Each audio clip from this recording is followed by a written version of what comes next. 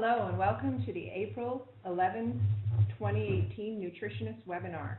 Um, you were just listening to a podcast by Laura Hernandez of the talk from last month so that we could have a good introduction into some more transition cow talking.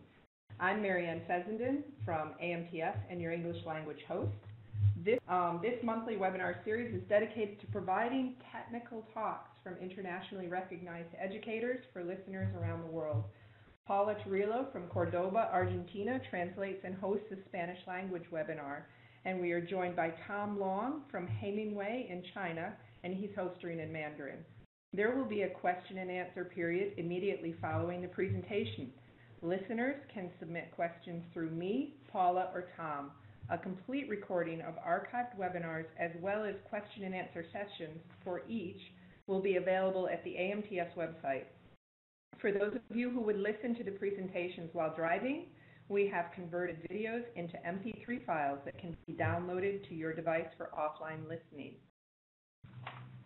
This month, we're pleased to host Dr. Tom Overton, Professor of Dairy Management in the Department of Animal Science at Cornell University. Tom serves as the Director of ProDairy and is the Associate Director of Cornell Cooperative Extension. Like most production professors, Tom wears many hats in his position at Cornell. He teaches a dairy nutrition course for undergraduates, an upper level seminar course for dairy oriented undergraduate students, co teaches a course in dairy nutrition for veterinary students, and works with students in the Cornell Dairy Fellows program. We are grateful he can take time for our webinar. He joins us as the second in the Transition Cow mini series that we're running this year. Thank you, Tom, for joining us. This is, a, this is special as you're in our office and we got pizza. Usually our presenters are pretty far away. We have a sold out crowd. To the audience, if you have questions during the presentation, please type them in the chat or the question and answer window. We'll answer them at the end of the presentation. I'm going to thank you, and Tom, you are good to, to begin. Thanks, Marianne, and, and uh, great to be here again in the AMTS offices with Marianne and, and, and Lynn Gilbert as well. Um, and thanks everybody for joining today. It's it's great to be part of this Transition Cow uh, webinar series that AMTS is hosting, and thank you to the sponsors uh, for that. Today is we're going to talk about uh, liver metabolism in transition cows, and this actually takes me back, uh, honestly, through most of most of my career, starting in graduate school at University of Illinois, working with Jim Drackley there, and continuing on through uh, basically our program in different ways um, at Cornell. And so, uh, and again, I, I, I, recognize we've got a crowd from around the world, so uh, good afternoon, good evening, good night, and good morning wherever you are uh, right now. And obviously, others will tune in sometime later by by uh, by and watch the recorded webinar. So I want to first here start and, and just uh, talk about our transition goals, and, and, I'll let you read these. Um, but we certainly have high expectations for uh, transition transition cow, for transition cow management, and for transition cow success. And we expect these cows to to uh, you know calve and, and have high milk production. We want to have you know modest losses of body condition score. We want to see low incidence of both metabolic disorders and immune-related disorders, um, and, and again work on minimizing that, that loss of immunocompetence or at least uh, manage that. Of course, we want cows that are going to going to have uh, early days of first ovulation and good conception rates at first service. We want calves that are born alive and, and ready to thrive. And you know, again, our high-performing dairies and our consultants that work with those dairies, you know, achieve all of these by really focusing on continuously improving management in all areas of what they do, whether it relates to the nutrition program specifically, whether it relates to feeding management, whether it relates to facilities and grouping management, um, and all different aspects. And that's really what they what they do and how they achieve success. So, so I'm going to start here just like I, I tend to start uh, a number of different presentations here lately, and then we'll dive more into the topic at hand relative to liver metabolism. But the transition cow, I, we've been been preaching this message for the last number of years um, in terms of of let's shift our focus or our mindset from viewing the transition cow primarily as a disease opportunity to the transition cow as a production and reproduction opportunity. And I I put that out there because I, I think that the farm level we still largely focus on clinical disease issues, um, and we interpret the presence of those, of course, is a problem, which I would agree with. But I think sometimes we, we falsely interpret the lack of those as a lack of opportunity to better in the transition cow. And and so we, we continue to kind of um, uh, preach this, and I'll show you kind of some of the data that, that, that gets me there anyway in terms of thinking about this. The um, this this slide has lots of uh, numbers on it. I apologize to our, our, interpreters out there in different parts of the world already. Uh, the next one's got a bunch of numbers on it too, and then hopefully things will get easier from there.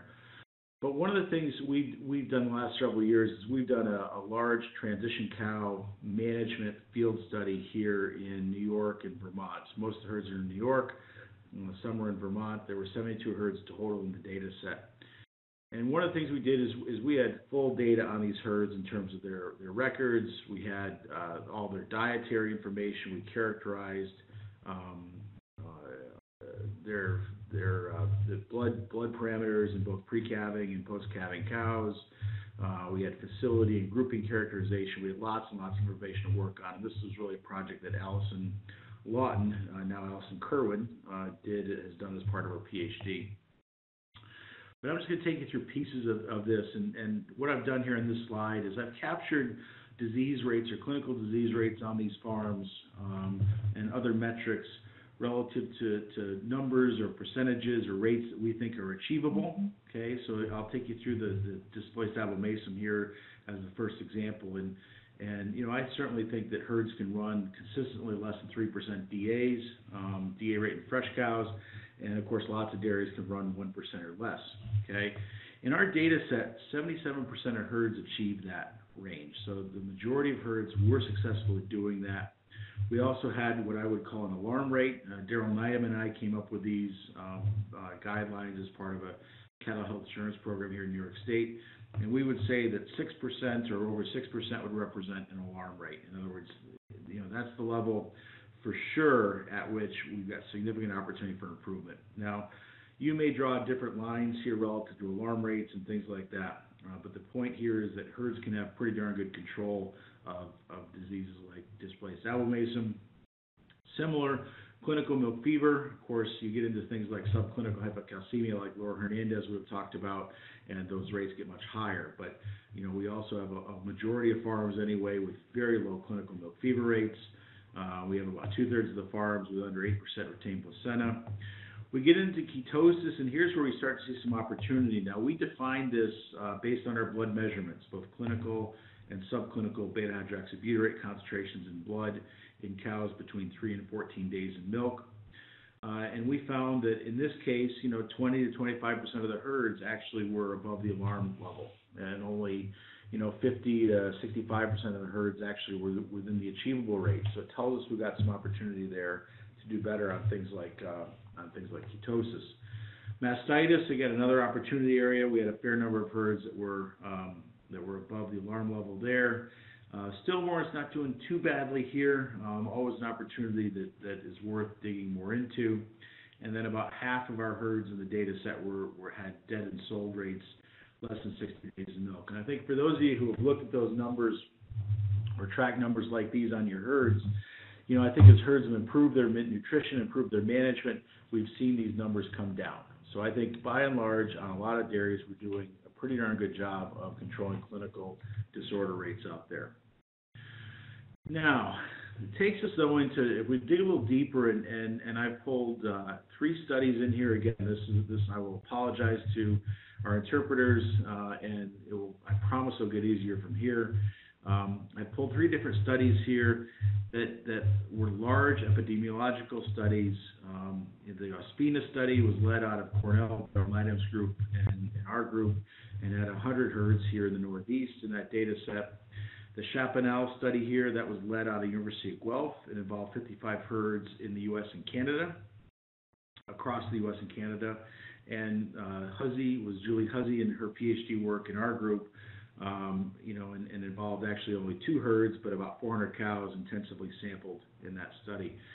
And the, the markers, what I've got here is, is these studies all characterize blood-based markers of energy status, like NEFAs or non-esterified fatty acids, uh, again, BHBAs or blood ketones. Uh, this Chapinal also did calcium, and uh, Julie Huzzey's work did haptoglobin, which is a marker of, of systemic inflammation in the cow. And it, what I want to draw your attention to is that is is and, and again the numbers, and thresholds for our discussion here aren't important. Uh, the percentage of cows over these these thresholds or under, in the case of calcium, you know, are, are not important um, uh, necessarily for our discussion. But I want to draw you to the associations. And I think in general, when you look down the, the slides here, you see relatively small or modest associations with clinical disease rates at the herd level. Not to say that that's not important, not to say we can't find associations at the cow level, but at the herd level, you know, you're looking at, you know, I'll, I'll take you through this first one. Ospina, you know, herds that had more than 15% of their cows with pre-calving NEFAs over 0.3 had 3.6% more DAs or ketosis but they lost one to two units of 21 day preg rate and they lost about 500 pounds of milk across all animals in the herd. Now, economically, it's the last two that really need that are, much more meaningful than the, than the, than the increase here in DA or ketosis. Now, of course, those are probably interrelated, um, but if you run down the data set here, you know the second metric on post-calving NEFAs plus 1.7% DAs or ketosis point of preg rate, 640 pounds of milk in first lactation, 12, almost 1,300 pounds of milk in second lactation. You roll down here, and again, you can see, I won't go through them, but again, you see very negative, very strong relationships with things that relate to production and reproduction, and more modest effects on uh, on, on disease. And we actually put a, a short article into Hoard's Dairyman um, you know, on this in last year. Daryl Nydam and I uh, wrote that, and so you can probably find that online. All right, so let's get into some, some stuff that's easier to chew on. And, and you know, we think about focusing um, on managing metabolism of transition cows. We focus on managing calcium uh, status or prevent hypocalcemia. You know, we want to facilitate the cow's adaptations, energy, and protein metabolism. We want to avoid that maladaptation or, or poor adaptation and negative energy balance. We want to support our immune function, avoid chronic inflammation, and we want to minimize management-related stressors and potential negative interactions with metabolism. And I'm really only going to focus on the second one here, and maybe a little bit on the on the immune inflammation as it relates to the liver. Uh, Laura Hernandez uh, is, is, again a, a, star in this area, and she um, certainly did an excellent job on talking about calcium with you uh, during the last webinar. Oops, so we're going to talk again about the second one here on facilitating your adaptations on energy and protein metabolism. All right. For the, the technical difficulties. So those of you who are well familiar with the, the transition cow and, and regulation thereof, as Bauman and others have really articulated over time, you know, recognize that there's exquisite adaptations in this transition cow, both from an energy and protein metabolism standpoint. And we have um, in adipose tissue, of course, these cows were are set to mobilize uh, adipose tissue in support of, of lactation. Uh, the gut does grow um, as the cow consumes more feed, getting into lactation. Uh, the muscle changes its fuels um, and has some adaptations in protein synthesis and protein degradation. The mammary gland, that's what this is supposed to be, um, of course, has increased number of secretory cells, uses more nutrients, and has more blood supply. But the liver is really a, a key organ uh, in this whole process and, and intersects a variety of different things, in part because it's absorbing things from the gut. You know, it's, it certainly is related, there's a relationship between what happens out of adipose tissue in the liver, and of course, the, you know, things like glucose are critical for uh, milk synthesis, et cetera. Okay, and of course, we want these things to work in a coordinated way. So we really think about the liver as, as the crossroads of metabolism in the tra- in the transition cow. So one of the things Chris Reynolds, who's who's very well known in, in this area in, in ruminant physiology in general, and he's in the UK now, and this is work that he did while he's in the UK, is is just this concept that, that the liver is highly metabolically active during the transition period. And these are data that I pulled from two different studies that, that Chris uh, published anyway uh, in which they they had one group of cows where they actually um, where they actually uh, slaughtered them at different time points here relative to calving. and they were able to weigh different tissues, including the liver. Um, and then another set of cows in which in the same set of cows they measured oxygen uptake, which would be a proxy for energy consumption by the liver. And what we see here is that liver size anyway doesn't appreciably change during the transition period. You could argue that perhaps here, you know, starting a few weeks after calving, that liver size is starting to grow. Uh, we got a no slide change. The change, the slide is not changing? Yeah. You look- Then you got massive liver. So, again, this, these data were from from Reynolds, um, and two, published in two papers back in the early two thousands. Um, in which what they did is they looked at liver mass during the transition period in one set of cows, and then they looked at oxygen uptake as a proxy for energy consumption by the liver in a, in a second set of cows. And they did that repeatedly in those, in those cows at different time points relative to calving. And what they found here is that liver mass did not, uh, increase, or was about the same during the transition period, about nine kilos wet weight. Um, and maybe started to increase here as the cow got into early lactation, but again, not an appreciable change in, in liver mass in that time frame. Oxygen uptake, though, essentially doubled when going from this pre-calving period to the post-calving period. So again, that en- liver energy consumption went, up dramatically in that time frame, and we can take a crude, uh, you know, measure here and say, okay, how many moles of oxygen per kilo wet weight of liver, and we see that that essentially doubles. So again, a, a doubling anyway of, of metabolic activity of liver in this in going from the dry period into lactation. All right, of course, part of that uh, large increase in energy demand is really to support gluconeogenesis in the uh, in the transition cow.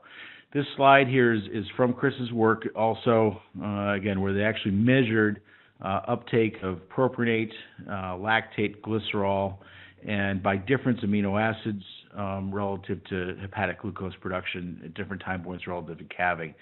Couple things you see in this slide is, is just this very large increase in liver glucose output, um, again, to support needs for lactose production and milk production in this post-calving cow.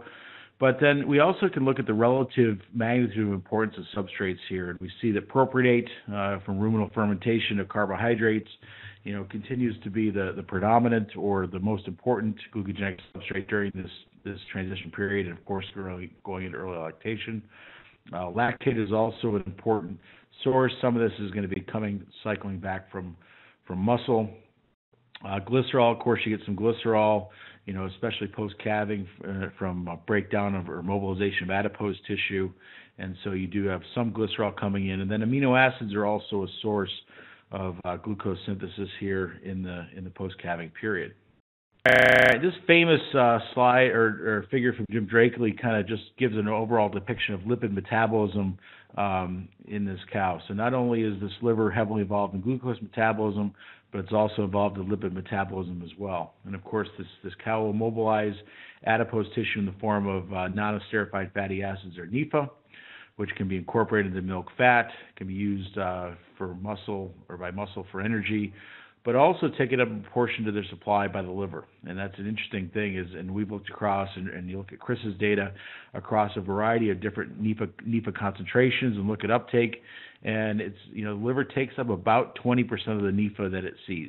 And so once in the liver, NEFA can either be oxidized uh, for fuel, either in the mitochondria, partially to, to uh, ketone bodies or, or completely to CO2, uh, or in the peroxisomes, again, for energy as well.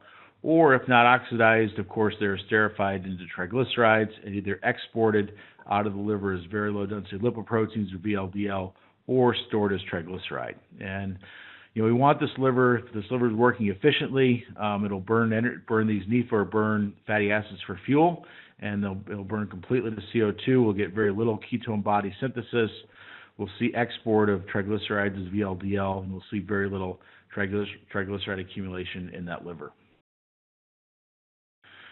Again, these are some older data from our group, uh, but just depicting this relationship between intake and NEFA during this transition period. Uh, you see uh, dry matter intake here as this cow approaches calving, tails off. As that happens, NEFA concentrations start to increase. They spike here uh, shortly after calving and then decrease as intake increases in this early lactation cow. And, you know, we can also alter this, uh, this dynamic through diet. Uh, so we know when we feed controlled energy diets or lower energy diets to cows during the dry period, we actually flatten out this intake curve a bit. Uh, we tend to see cows that eat more post calving, and we tend to see lower NEFA spikes as well. In my senses, uh, Phil may show some of that to you here in the in the next webinar that you guys have. Of course, the liver does, uh, you know, the concentrations of things like uh, triglycerides, so liver fat um, in the gray, do increase here during the transition period. We see this is data from our lab across multiple studies that Maris McCarthy uh, published. Anyway, we see an increase here in liver triglycerides, um, you know, uh, all the way, you know, certainly to day one, and then again some more to day 21 before likely going down from there. Of course, she's also depleting her glycogen uh, reserves as she's again uh, focused on mobilizing or providing that glucose uh, for for use other other ways in the body. So, of course, one of the things we've known for a long time, and a lot of this is associative, although I'll, I'll show you some more uh, data to kind of beef this up, is you know when we see more triglyceride content in the liver, we see impaired glucogenic capacity from propionate. So, one of the major things we want that liver to do, it doesn't do as well. We see impaired uh, capacity of that liver to convert or detoxify ammonia to urea. So you, we have impaired ureagenic capacity. Uh, we have impaired capacity to clear endotoxin, and there are some relationships here as well with, with reproduction. So a variety of things, um, and these are associations, you know, seem to happen that, that again we would we would say are not good things out there. All right. So one of the things Maris did is is we we've done a fair amount of work in our lab over uh, the period of time where we actually take uh, liver sli- or liver tissue by biopsy out of transition cows, fed different diets or treatments. Uh, we can bring it into the laboratory and we can actually look at the biology of that tissue. Um, you know, again, still reflecting the characteristics of those cows, and we can look at fatty acid metabolism and we can look at glucose metabolism in those cows. One of the things here, these are just a, a correlation data set you know, the Maris again pulled together from very from several studies in our lab that basically, you know, said we looked at the correlation of liver triglyceride content at day plus one, so immediately post calving, and then various parameters, either day plus one, day plus 21, or um, some other ranges here post calving. And of course, what we see here is that uh, negative correlation, so more triglyceride, less glycogen, uh, more triglyceride, some relationship with with metabolism of fatty acids see fairly negative uh, correlations between liver triglyceride and propionate concentration or propionate conversion to glucose at day one or day 21. Um, and interestingly, when we look at things like NEFA area under the curve or, or blood ketone area under the curve, and we've, we've, there are a couple data sets that support this as well, we actually see stronger relationships with, with blood ketones than we do necessarily with NEFA and liver triglyceride. And that's interesting because you know, we typically think the cow mobilizes NEFA, the liver takes up NEFA, the, the cow's ability to metabolize NEFA is overwhelmed, and so she converts it to triglyceride. But actually, you know, the R value there is, is only 0.29 between NEFA area under the curve um, postpartum and liver triglyceride content. Intakes are strongly negative, uh, so you know the lower intakes uh, you know, during this time frame associated with that that uh, higher liver triglyceride content at, at day one. Uh, we can also look at conversion of propionate to glucose at day plus 21, and again, NEFA area of the curve, a, a, negative association there with that and BHBA. Again, stronger relationship here with, with blood ketones, uh, positive relationships of propionate conversion to glucose at day 21 and milk yield, and you know not as strong, and actually was a trend, but also with dry matter intake. So, so the liver does reflect really kind of what's going on out here in these cows.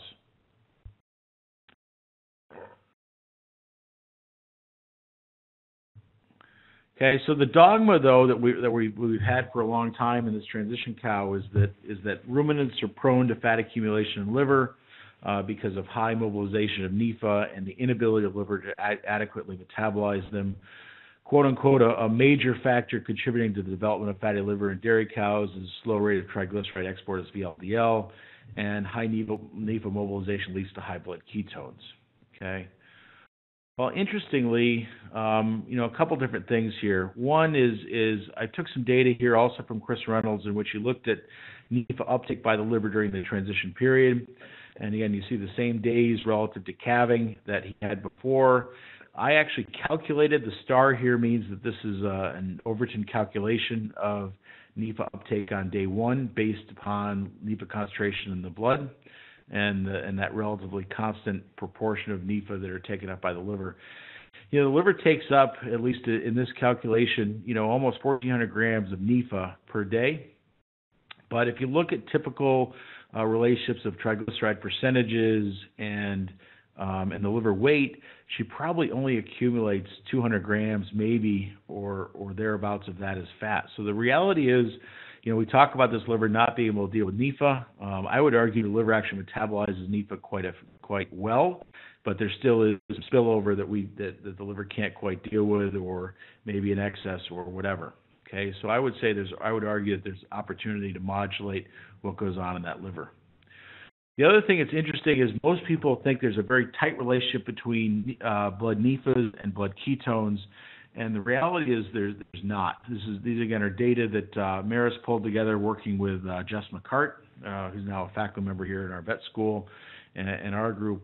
Where basically Maris looked at this uh, correlation anyway, or, or between area under the curve for postpartum NEFAs and postpartum ketones, if those were very tightly linked, you'd see a, a pretty linear relationship here. In other words, as one goes up, so would the other.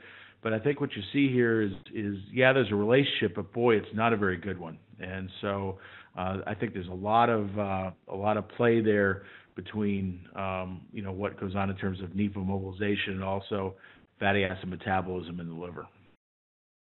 So my contentions would be that high NEFA mobilization doesn't necessarily dictate that cows will have high rates of triglyceride accumulation. The ruminant liver actually metabolizes the majority of fatty acids it removes from the bloodstream. And although certainly there's there's no doubt that rates of VLDL export in ruminants are lower than those in non-ruminants, I do think that modul- modest modulation of these pathways um, or fatty acid oxidation can translate into meaningful differences in outcomes relative to fat accumulation, probably blood ketones, and, and what's going on in the cow in general. Uh, one of the other data sets I want to bring to your to your attention. This is a small one, uh, but it was done in, in Brazil. An interesting study published here just just fairly recently.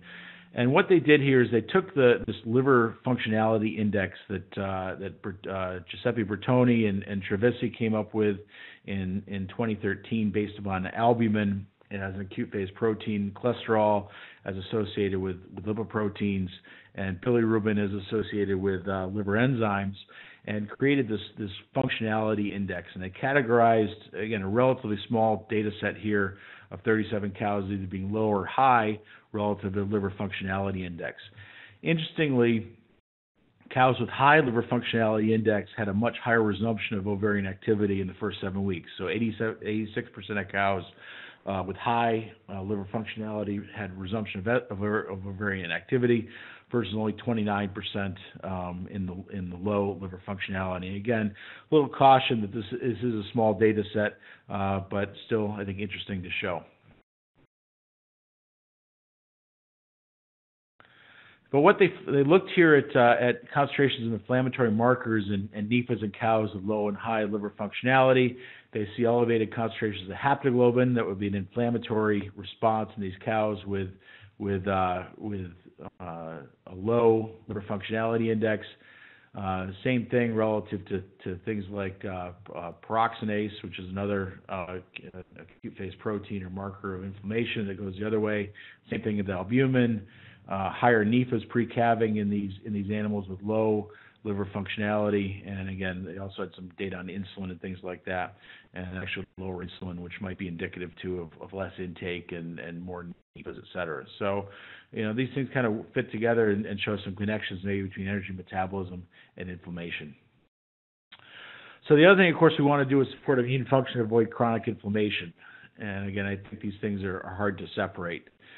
Um, of course, uh, in terms of thinking about immune function here in this transition cow, um, we have decreased sensitivity and responsiveness of the immune system. Uh, there are some interesting changes in terms of how leukocytes or, or, immune cells operate here in this transition period as well. Again, not super important to go into more detail for what we're doing today. Okay. And as Barry Bradford has outlined very nicely, there's lots of different sources of potential inflammation in this transition cow. And, uh, you know, Barry's got on here, you know, things like oxidative stress. He's got on here things like leaky gut, which has been well characterized by Lance Baumgard's group. Um, you know, uterine infl- or metritis, mastitis, heat stress, maybe social stress, catecholamines contributing. So a variety of different, uh, you know, sources of inflammation in this transition cow. Of course, we know that cows with uh, metritis uh, and varying degrees of metritis have higher, have more inflammation systemically. There's data that, that a number of you are, I'm sure, familiar with from Julie Huzzey, part of her master's work at the University of British Columbia, where she showed as, as cows went from being healthy to mildly metritic to severely metritic, you see elevated or increasing concentrations of blood haptoglobin in these cows. So again, marking anyway, you know that, that systemic inflammation in cows with, with increasing severity of uterine disease. Now, work that she did in our program, you know, again showed that, that we can associate haptoglobin with uh, with uh, negative milk yield. So, and this has been published now, actually in 2015 in Preventive Vet Med. Uh, but again, cows that have more, cows in this data set that had more than 1.1 grams per liter of haptoglobin in, the, in their in their blood had uh, lower milk yields, uh, and again, they were sampled at different time points here, and showing some fairly large, you know, 1,600 to 2,600 to 5,000 to 700 to 2,500 uh, pounds less milk and lactation. Okay.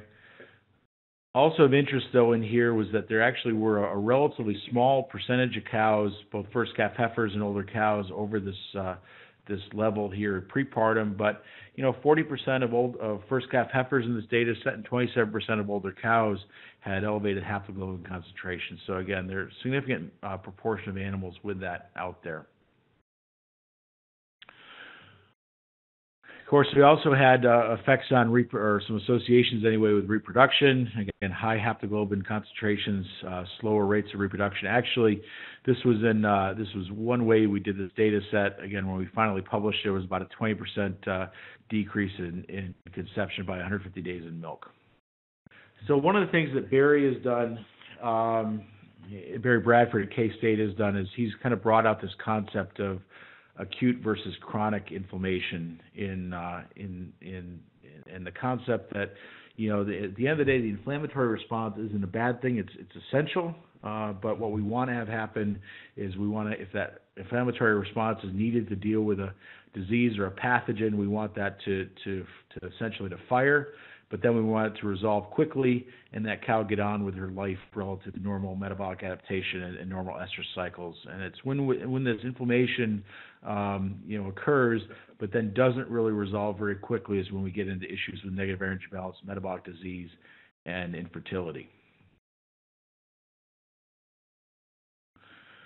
Okay, so the last thing we're going to do, and then we're going to talk about some practical ways we're going to we're going to manage liver metabolism in these animals. We want to minimize these management-related stressors and potential interactions with metabolism. Okay, so now again, the, of course, stressors decrease intake in milk, uh, increase mobilization of uh, body fat and potential muscle wasting. Uh, they divert nutrients. There's lots of regulation here around cytokines and stress hormones that that do this. Okay the one thing I'm going to bring out, and a number of you have likely seen the work is Jeff Dahl, but there's others who worked in this area as well. But heat stress in these transition cows is really a, a bad thing, not only for the cow but also uh, relative to her calf. Show you some data from Jeff here as well uh, that he and, and, one of his former grad or graduate students summarized, who's now at University of Georgia. Uh, but just showing the effects of prepartum cooling on milk production after calving and, and you know, showing, you know, in all these nine studies here showing uh, pretty meaningful milk yield responses post calving to cooling during the during the dry period. Okay. Now I'm not going to get into all of Jeff's story. Uh, heat stress also has profound effects on the calf. But one of the things they published recently, and this is some of Amy Skibiel's work working down with Jeff, is they looked at a variety of, of things related to the liver metabolism and pathways of, of molecular and cellular metabolism in this in this bovine liver, you know, in these cows that were heat stressed. And the things that really come out are, are the variety of things related to the. So we have some real alterations in things that relate to oxidative metabolism, to mitochondrial dysfunction, uh, to things that relate to, to various aspects of energy metabolism. So a variety of things that we would generally characterize as negative responses in that liver, you know, in that heat stress scenario. So it's not just again uh, things that relate to nutrition, et cetera, but also certainly management. So how are we going to do it, right? How are we going to improve liver metabolism in these cows? Well, we're going to control energy intake. Okay, we're going to have cows of appropriate body condition score. We know that cows, uh, you know, who, who calve in fat are certainly more at risk. We're going to control inflammatory or stress responses in these cows, and you know, I'm going to talk just briefly about you know adapting to postpartum diet and avoiding subacute ruminal acidosis. We've already talked about heat stress and potential impacts here on liver function, and then we can also think about nutrients or additives that we can use that, that will help to support optimum liver function in this transition cow. I'm going to kind of walk through these. So I'm going to I'm going to capture the the nutrition, the energy side real quick in terms of just some summary recommendations. And I think you know if you look at the body of literature um, out of Jim Drackley's group and and other groups out there that have looked at energy status, including some of our own, um, Sabina Mann's, I'll show you some brief results from. You know we want to keep energies down far off, and you see some numbers here you know, essentially, if we're using the model, we're looking at 110, 120 percent of energy requirements on, of course, the the AMTS and, and the CNCPS work on an ME basis. Uh, but you see those numbers there, you know, and, and really keeping starch levels low. We're not going to worry about macromineral balances uh, within reason anyway in far off cows. We don't worry about DCADs per se or things like that. And Laura talked about that, I'm sure, last last webinar. Close up, um, if we're feeding the same diet to heifers and older cows, I like to kind of a low to moderate energy approach, 110 to 130 percent of energy, 16 to 18 percent starch. Recognizing in, in my in our world here in the northeastern U.S., we're commonly transitioning these cows onto diets at you know 23 to 28 percent starch after calving. So I tend to like to have starch levels no more than 8 to 10 percentage units difference between prepartum and postpartum. And I recognize it can vary depending on where you are in the world. Um, we're going to supplement with with, with uh, rumen undegradable proteins. We're going to meet these metabolizable protein needs for Holsteins anyway in the 1,200 to 1,400 gram range. And of course, we're, we are going to worry about our macrominerals, our vitamins, and our trace elements. We're doing one group nutritional strategies, again, a lot of herds, that is the most practical option. I will say I, I think it's always a co- bit of a compromise, as I show at the bottom. Uh, but you know, in terms of two group systems, but I think on some farms, it's it's going to be the most practical option. We're going to be low to moderate energy as well, uh, maybe you know 14 to 16 percent starch. We're going to still put some more um, rumen undegradable protein in the in the diet, but we're probably not going to be quite as aggressive with it. And we're going to formulate minerals like the close-up ration. So regardless of DCAD strategy, and you know again, it's it's going to be you know a bit of a compromise. I think performance, health, and cost, but you know it's clearly some farms it is the most practical option show you some some work here. I'm actually going to uh, fast forward one slide here just to pull the pull the, the full data up. Some work that we did, uh, Sabina Mann, uh, who's now a faculty member at Cornell in the vet school, working with Daryl Nydam over there and, and me, you know, where she fed cows either a, a essentially controlled energy diet for the whole dry period, uh, an inter, kind of an intermediate step up diet. So, uh, you know, especially during during the, the close up time, and then a high energy diet for the for the entire dry period. And Sabina showed, just like lots of other studies have shown, that when we overfeed cows before calving, we have higher NEFAs, higher blood ketones, and most of these studies have also shown lower intakes post calving. So we really do want to control energy levels uh, uh, before calving for good good metabolic status. We get in trouble for too low energy. We get in trouble for too high. We also get in trouble if they sort the diet. Um, of course, ruminal acidosis, I think, can be a real deal in these transition cows as well. This is some work that Greg Penner uh, did a number a few years ago now. Uh, we and, and some folks at Miner Institute have also been involved in looking at some of these things, as have others. Uh, the, the treatments here aren't all that important because the treatment effects actually weren't all that significant. But what they did is they is they categorized varying degrees of ruminal acidosis in these cows during the transition period and early lactation. And what they found here was that uh, was that when the, in these cows they looked at area under the curve for uh, for rumen pH, and again categorized these cows as either mild, moderate, or acutely uh, ruminally acidotic. They didn't see a whole lot of acute ruminal acidosis. Uh, didn't see a whole lot of moderate either. But you see here in days one to five after calving this huge spike in in acidosis or subacute ruminal acidosis in these cows. And so I do think that we need to be mindful of the transition of these cows onto lactating diets and try to have good rumen adaptation either through the carbohydrate side or thinking about you know various ingredients, uh, you know yeast or yeast culture type additives or others that are going to help us facilitate ruminal um, adaptation during this time frame. Now, choline's been out there certainly for some time. Uh, choline's a quasi-vitamin.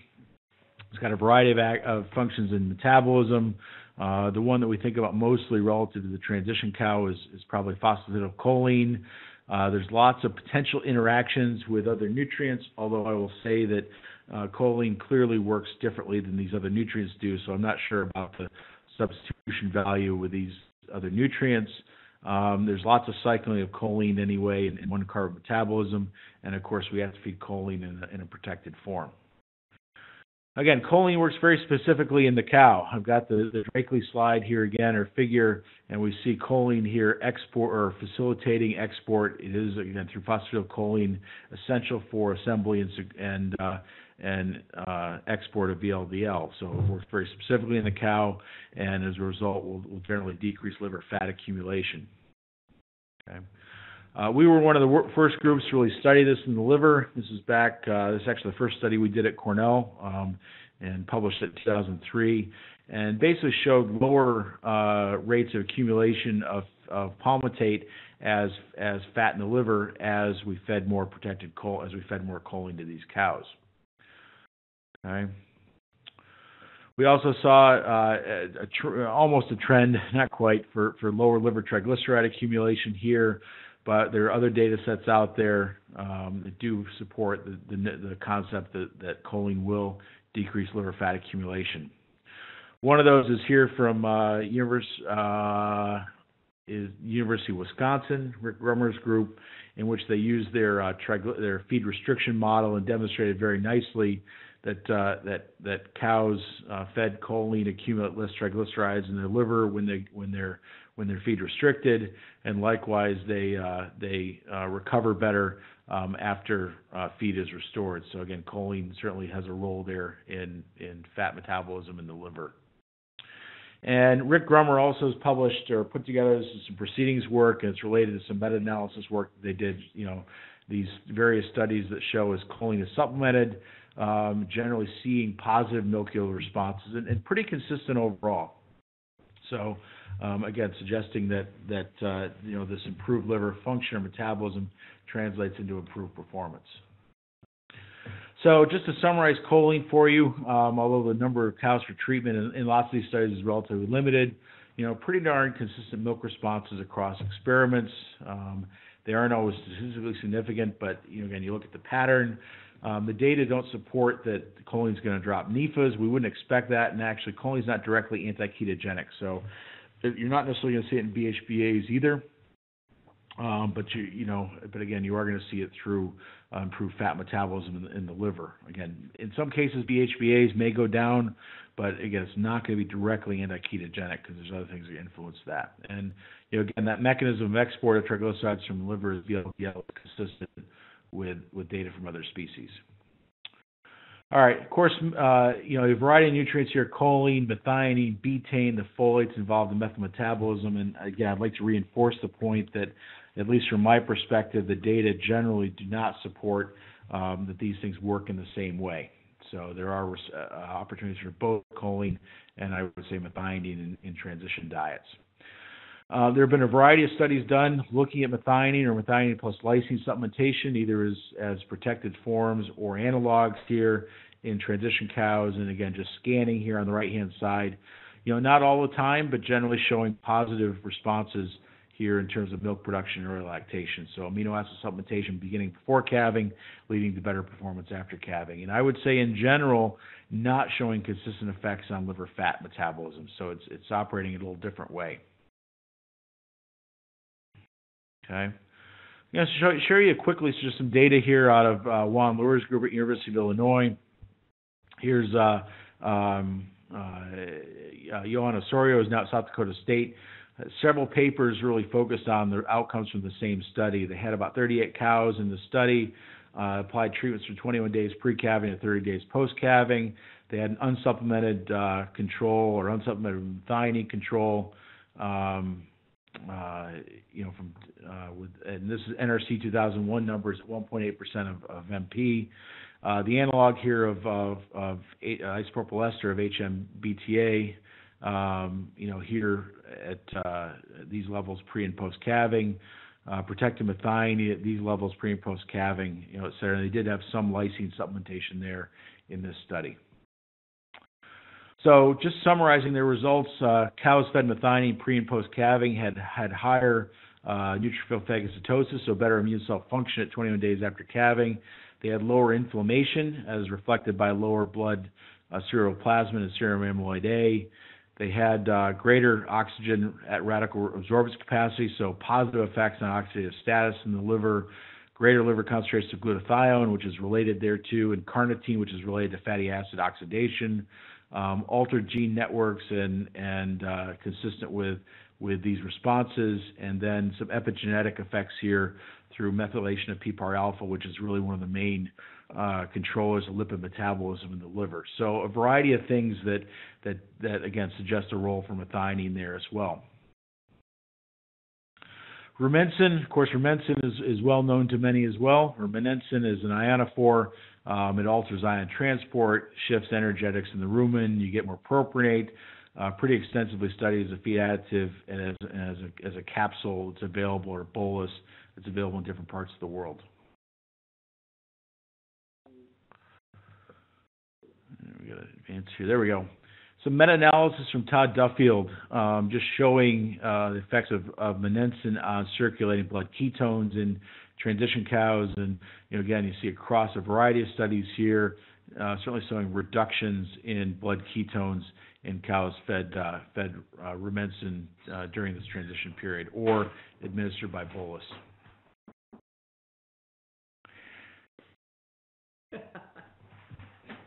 Okay, we also showed Maris McCarthy in some of her PhD work. We fed rumensin to cows pre and post calving. We fed about 400 milligrams pre-calving, 450 milligrams post-calving, um, and did also see that reduction in blood ketones in cows fed rumensin. Okay, we also um, we also studied uh, liver metabolism in these cows and did see um, anyway a, trend anyway for increased uh, conversion of propionate to glucose. So saw better uh, you know better conversion of, of propionate to glucose in cows fed rumensin. Okay, we also increased that ratio of glucose to CO2, which we can interpret as uh, essentially better efficiency at which the liver was able to convert propionate to glucose by, with rumensin. So just to summarize and conclude, um, you know, the liver represents the crossroads of metabolism in transition cows and is centrally involved both in energy metabolism and inflammatory response. Uh, excessive triglyceride accumulation, ketogenesis, and inflammation do affect both liver metabolism and outcomes related to production reproduction. And then finally, um, these strategies to improve uh, liver metabolism certainly involve nutritional management, uh, management of body score, and minimizing stressors that uh, in, impact overall regulation of metabolism. And I should say liver function. Sorry about that. I, I know you've had a lot of function today uh, with uh, with our technical issues, but uh, affect liver function. Okay. And again, thanks to AMTS for your patience and, uh, and for you for attending today. Okay, I want to thank everybody for their patience and as we sorted this out, there seem to be issues that continue, but hopefully we can handle all this. Um, before we get to the question and answer period, I want to thank thank Tom for for all that he put up with. And as we progress, if the audience has any questions, enter them in the chat window. I can see that now that I've grabbed back hold of my computer mouse. And, um, or the question and answer tab, and we'll get to them. Um, what we'll do, if you're not familiar with the, the process, is we will cycle through it. Paul will ask some questions. Tom Long will ask any questions that he has from the Chinese side, and then um, we'll ask the questions. We'll get to yours. Usually I don't miss any, and if I do, start screaming at me in the chat window. Um, it may be a night for screaming at me. Let's, um, I want you to make sure you join us next month for Phil Cardoso. He's going to wind up our transition cow discussion. He's an assistant professor of animal sciences at the University of Illinois, Urbana-Champaign, where he conducts research and provides outreach programs in the area of dairy nutrition and reproduction. Dr. Cardoso was born and raised in Brazil and soon discovered his passion, dairy cows, and got involved with livestock operations in the southern part of Brazil. His experience with dairy farms in Brazil and the U.S. brings a different perspective and management skills that help him with discussions in class. He obtained a PhD degree in ruminant nutrition from the University of Illinois and a master's and DVM degrees from the College of Veterinary Medicine at Universidade Federal do Rio Grande do Sul in Porto Alegre, Brazil. Phil will deliver the final presentation focused on transition cow nutrition on May 9th. Mark your calendars and plan to join us next month. We're excited to announce that we're going to launch a beef nutritionist webinar. It's a new net webinar series based on this The Nutritionist series with a focus on beef cattle. We'll have abbreviated sessions this year of five presentations beginning on May 9th and following June 13th, August 9th, September 12th, and October 10th. We have most of our speakers and topics decided. Alejandro Relling from The Ohio State will talk about fetal pro- programming. Alfredo De Constanzo from the University of Minnesota will talk about backgrounding. Danny Fox from Cornell University will talk about factors affecting predicted performance. And Jonas Sarturi from Texas Tech is joining us. Our beef webinars will be presented in English and Spanish with Paula Turiello co-hosting from Argentina. We're thankful for our series sponsors of the beef webinars of AB Vista, Rock River, and AMTS. We're holding the beef nutritionist the same day as the, as the nutritionist, just earlier in the day, so Paula and I will be especially busy on those days. If you're interested, please email webinars at agmodelsystems.com. Um, I want to thank my co-hosts and all the people that made this possible today. Um, AMTS USA and Global. Someday, um, Marcelo Hentz Ramos from Brazil will be joining us. He said he was going to join us in April, but I did not see him. Um, Paula Turiello from Argentina, and she thanks especially Rock River Laboratories for sponsoring her um, efforts in Argentina, and Tom Long from Hemingway in China. We are especially generous, or we are especially thankful for the generous support of these sponsors. Um, Ajinomoto Animal Nutrition North America, part of the Ajinomoto Animal Nutrition Group, and Arm & Hammer Animal Health, makers of cattle feed ingredients that optimize dairy health, are our gold sponsors. Our silver sponsors are Dairyland Laboratories, Virtus, makers of Strata with EPA, DHA, omega 3s, and Prequel with omega 6s, Cumberland Valley Analytical Services, Kemin, featuring USA Lysine, Dairy One Forage Laboratory, R&D Life Scientists, Life Sciences, and AB Vista. Our bronze sponsors are AminoMax, Perdue Agribusiness, Jefo, Quality Liquid Feeds, Adisseo, Origination Inc., and Novita. Um, the first one is going to be from Jim Jim Aldrich, and he says CPS or NRC calculating factorial factorial requirements for MP or CU Uh, for close-up cows. close-up cows. Sorry. Uh, will likely not ever add up to 1,400 grams, even if you factor in requirements for mammary development. So where does the 1,400 gram recommendation come from? I realize field observations suggest better transition performance when MP is high, and what intake are you assuming for the 1,200 to 1,400 grams? Should we look at the requirements as a concentration, for example, grams per kilogram of dry matter? Jim, as always, uh, a great question and a detailed question from you. So uh, you don't disappoint today, even. Um, so, you know, I think when you add in the mammogenesis requirement to NRC, um, it does get you toward that 1,100 gram range, uh, maybe arguing a little bit more than that for some margin. Um, you know, I, I, you know, Patrick French a few years ago, I think you're familiar with this data set, put together some more regression-based analysis. Um, and, you know, kind of, kind of determine optimums a little bit higher, uh, than that. So, you know, we have, we've kind of adopted that, although, you know, I would, I will admit that the, uh, the actual controlled research on, uh, on transition cows and, and feeding protein before calving is a bit of a mixed bag. Um, we, that, that intake is based generally on, um, somewhere in the range of fourteen kilos, so about thirty pounds of dry matter, you know, for those close-up animals. Um, we also have started looking at it as a, as a gram per kilo basis. You could easily convert to grams per pound. But, you know, we would run our diets between ninety and ninety-five grams of MP per kilo of dry matter intake. And I think that, that gets you, gets you close. I mean, I'm not gonna argue, you know, that somebody needs to be at fourteen hundred versus twelve hundred per se. You give kind of ranges there. Um, and again, I think we could use some better, some more, some more MP work there. I do think something's going on and, and there may be some interactions we're not picking up in terms of other aspects of metabolism. I have a question from Vahid. He says, NEFA and BHBA, should that be measured before calving or after calving? Yeah, so I think, you know, um, NEFAs, NEFAs can be measured either time. Um, you know, our data and, and others, you know, would, would show, um, that ele- higher NEFAs before calving are, are clearly associated with negative outcomes after calving. So, you know, if we're looking at, uh, herds, you know, we want, uh, if we're sampling herds across a, a window of two to 14 days before calving, you know, if we have more than 15% of those animals with, uh, with NEFAs over 0.3 millimolar, we know we're at risk for more disease, poor milk production, poor repro.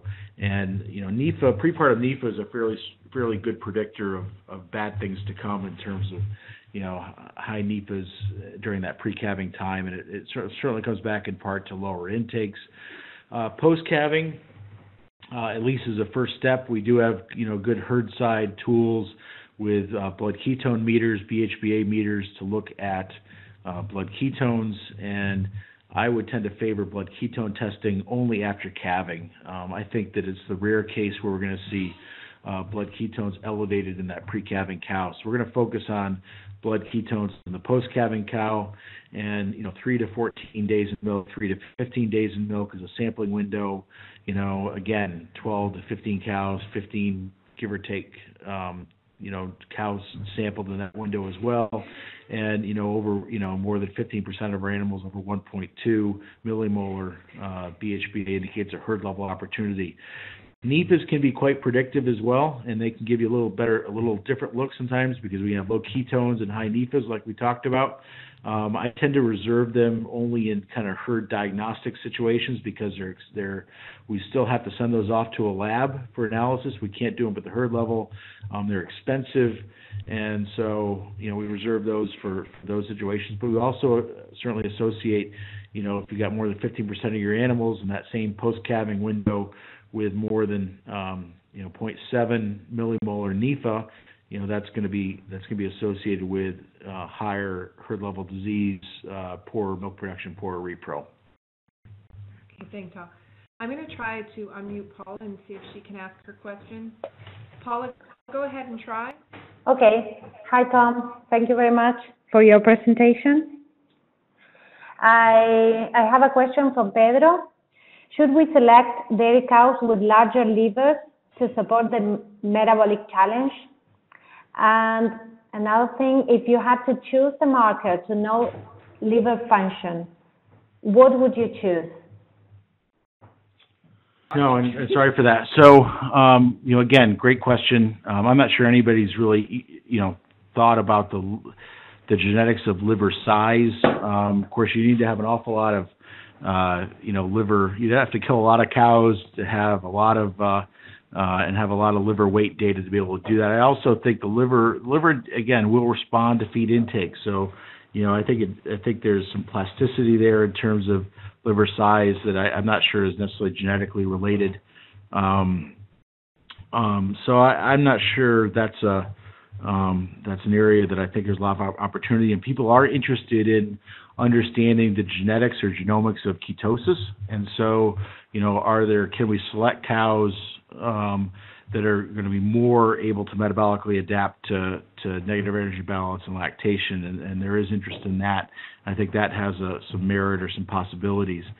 Um, in terms of markers of liver function, I think from an energy standpoint, uh, BHBA's are, are pretty good. Uh, you know, they're going to give us a good field level view. Um, I, I again, I look at BHBA's as a marker that things are not things are not uh, things are not ad- adapting uh, just right there in the liver from that standpoint. In terms of, of other markers of, of liver function, you know, some people look at look at liver some of the liver enzymes. Um, I do think that um, in those cases, I mean, those certainly do reflect liver damage. Um, I don't think anybody, to my knowledge, people have not really looked at those in, in really, really large epidemiological data sets, and, and we have interest in doing that.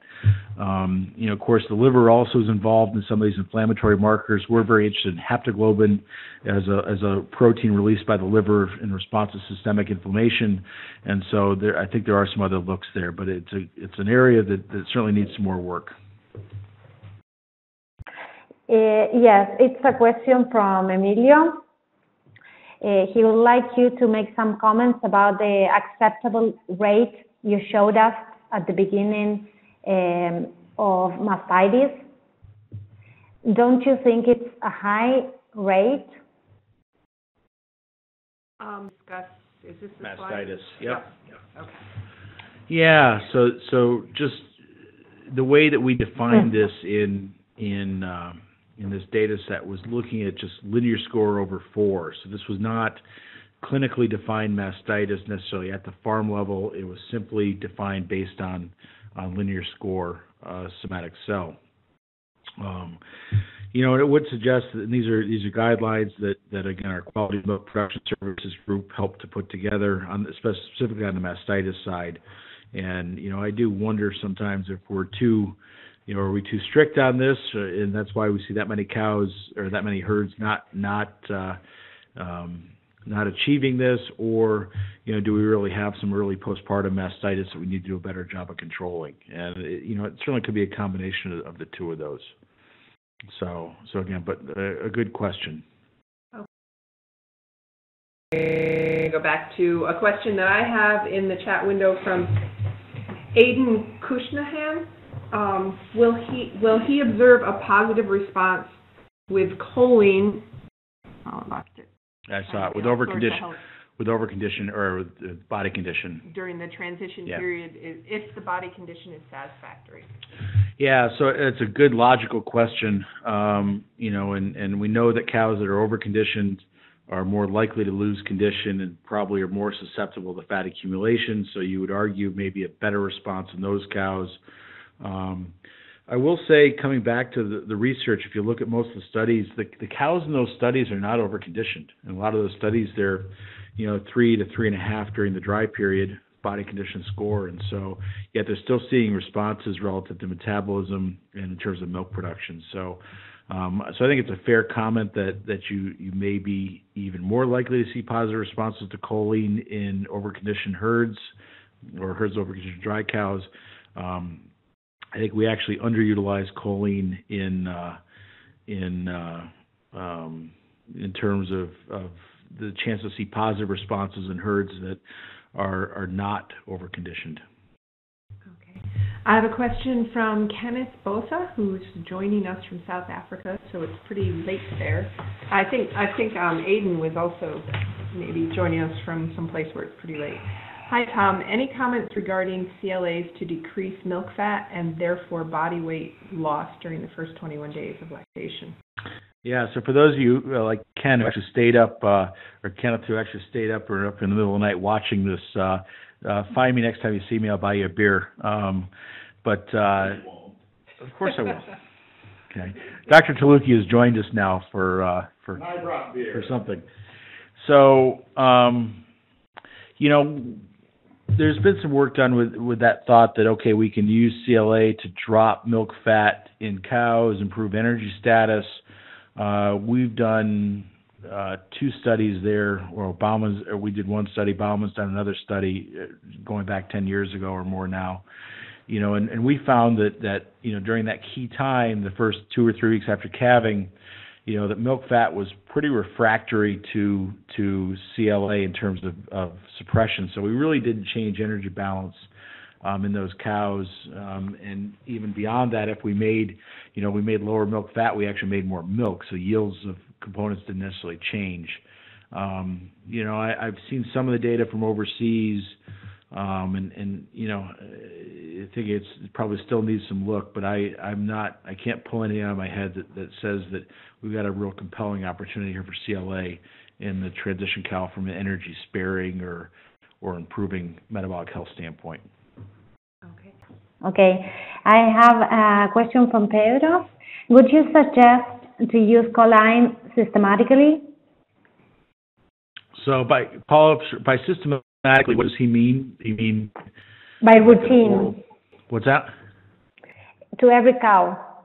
What is that? Oh, you know, I, I think, you know, in my world, I'm used to thinking about we make we make nutritional decisions based on feeding a pen of cows. So, um, I mean, you could you could obviously, if you had the opportunity to to subgroup cows, you could. Um, I think I would tend to feed it across the board in part because I think you get, you know, if you were going to subdivide, you'd, you'd, you or subgroup cows, you'd, you'd go to cows with higher body condition. But um, again, I think you, I think we're going to see responses across the group by just based on better liver metabolism in those cows.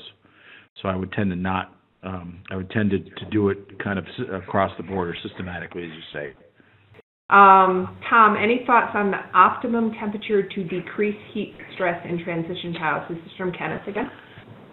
Yeah, Kenneth, you know, um, I'm gonna have to, I'm gonna have to defer to Geoff Dahl's data on this. I think that, basically you get over a THI of 68, um, I don't know how to convert that, but what's that be, 20, Tom says, is when you'd really look to, look to do that. That's kind of where Bob Collier, think, has drawn the line anyway relative to, to THI. And I think if you look at some of the Dahl, if you find some of the Geoff Dahl papers, they'll they'll outline that pretty well. Geoff's got a variety of things, both, of course, published in things like Journal of Dairy Science, but also proceedings papers like the Western Dairy Management Conference, which are available online. You know, you can just Google Geoff Dahl and heat stress and and find some.